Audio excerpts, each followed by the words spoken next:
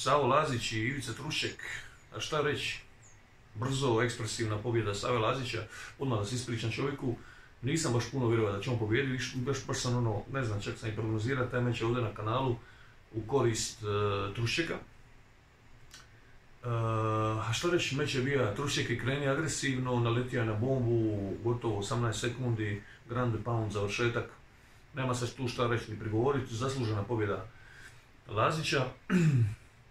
ono što bi ja htio reći, uh, što sam ja vidio, znači do sad je bilo da Lazić Savo je znao letiti, zna ono naš, ja sam ovo, ja sam ono, ja sam kaj sve, tako sam nekako vidio i onda bi mečevima ne bi pokazao.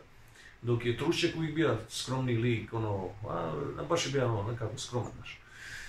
I ostvario rezultat.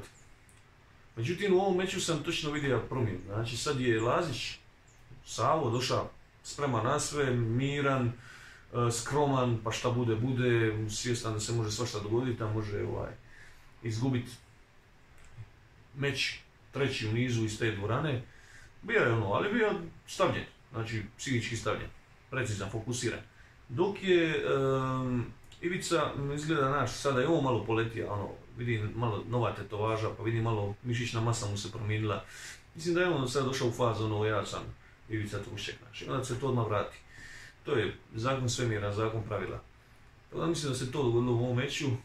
Vjerujem da bi se Trušek ja, ja ne nikoga, znači jedan poraz meni ništa ne znači, to mm, ono, ako će čovjek nastaviti gor, nek se bori bez ikakvih problema. Ehm, međutim, treba se vratiti na ovom svoju skromnost staru, znači, ne, ne misliti u glavi ja sam American Top Team, ja sam se borio koja je sve u ja sam, znaš, kad to uđe u, mozak jedan put, onda to, to kontaminira sve ostale stvari, aspekte borbe.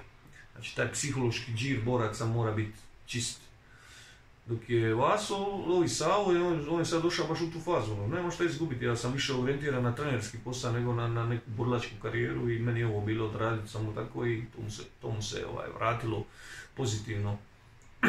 tako da, čestitke, Savo, čestitke.